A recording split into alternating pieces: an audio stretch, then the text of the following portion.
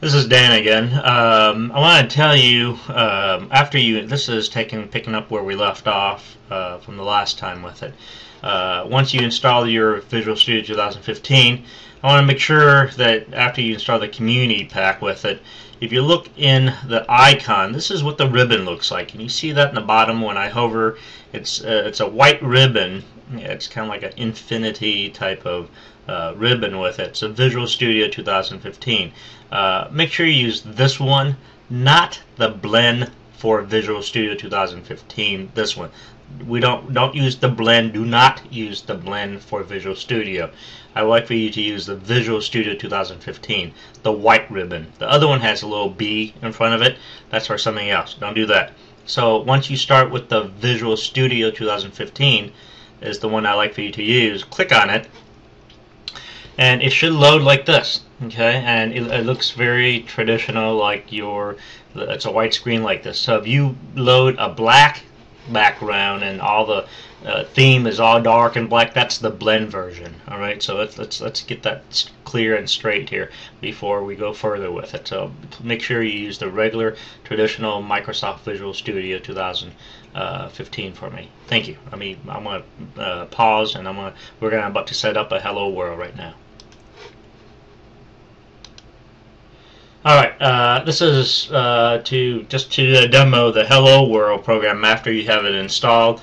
So I'm going to take it from kind of like the uh, after you have assumed that you ran through uh, everything that you have done through the installation with this thing. So if you could for me uh, in here, what I would like for you to do is to do File, um, New, Project, okay, File, New, Project and you open the project and you see the Visual Studio, uh, this this dialog box is very important at the stage. I want to refer to five points on here and if you can do this uh, with me uh, the first point is if you go to Visual C++ click on Windows 32 on the left panel here and you click on Windows 32 console application is the second one first point is Win32 second point here is uh, Win32 console application.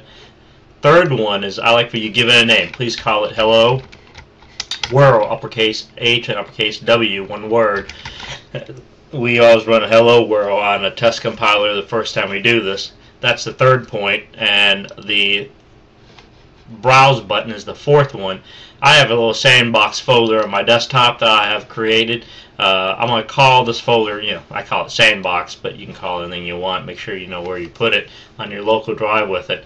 That's the fourth uh, part on here is the browse is the, is the location of the name of this project is going to be stored. And the fifth point is create, disable, or turn off or uncheck the create directory for solution for me. Again, five checkpoints I want to reiterate here. One, first one is Win32. Second one is Win32 console application. Third one is give it a file, a project name. Fourth is you got to give it a location where this project's going to be stored. And the fifth one is to disable the checkbox where it says create directory for solution. The five checkbox is very important. Click OK. Takes you to the next dialog window. If you can please click on Applications and Settings. Make sure you check, this is very important, make sure you enable, check the empty project, uh, this little checkbox right here. Again, empty project needs to be checked. And then you click on Finish for me, please. a few seconds. So you have on the left here, you should have a, your Solution uh, Explorer dialog, uh, your window here. What I'd like for you to do is right mouse click on it uh, on your project name, in this case is Hello World. Come down and do add for me please. New item. Right click on your name of your project is Hello World. Go down to your dialog box is add new item for me please. It's going to open up this. This is very important. Make sure you click on the CPP. Click on it. And in your name, don't leave it as source. Make sure you call it main for me, okay? Main. M-A-I-N, lowercase. Click on the CPP is the uh, file extension C++. Main is the name of the file. Click on Add. So once you have this, uh, because I'm I'm writing this uh, through a screen, So I like to change this to, there's three settings in the environment. You saw how I just did that. If you go to Tools, go down to Options, Tools, Options, Tools, Options. We'll open up the Options dialog box for me. Under the environment, where you see this little triangle, now it's been collapsed and been expanded to a to a little like you know triangle. It's kind of like dog ear, kind of like you fold it. And if you could find for me the font and color uh, category underneath environment. For me, since I'm doing this, I need to crank up the font here so you can see is the size is 18, or I'll tell you what, let me do size 21 or 22. Please leave it as console Consolas with it. Uh, that's the first setting, is the font and color. Change the font size for me 22 because I'm recording this in screen, but for you, you can keep it as 12, 14, 16, however you want to read this. The second one is the text editor. Click on your text editor category, expand it, come down on click on your C, C++. I always like to have it word wrap. That's the second one. The third one is I like to enable a line number. So three things, the size of the font, the second one is the word wrap, the third one is the line number. Click OK. Now, I like for you to, on every source code, I like to for you to put forward slash forward slash your name goes here. So put your name Second one is bear with me in these comments. I'll explain to you in you in chapter two what these comments mean, but basically the compiler will ignore everything after the forward slash forward slash.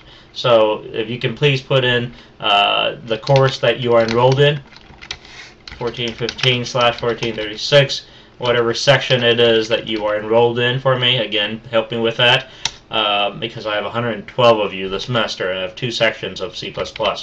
The third line like for you put in is tell me what this one, what this program is about. If this is lab one, lab two, whatever it is, the program in the book that you're doing. In this case, I like for you to just put in "Hello World."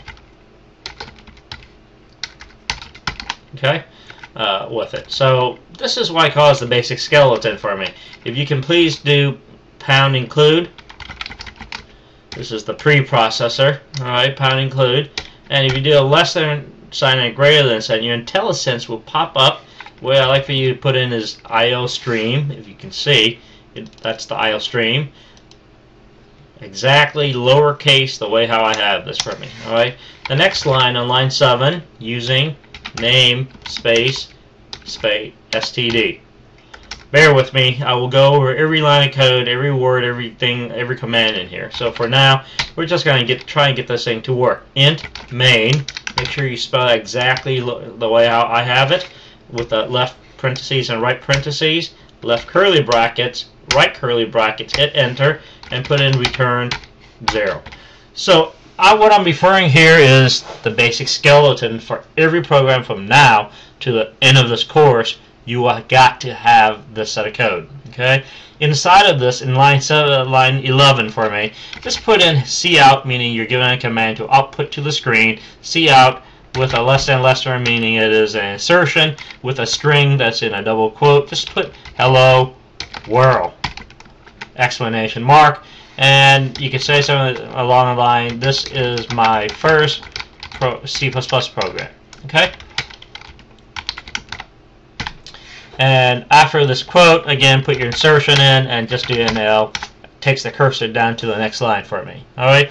If you notice up here in the left-hand corner it says main.cpp has an asterisk, which does that mean is this file has needs to be saved. So if you can please hit Control S, the asterisk goes away.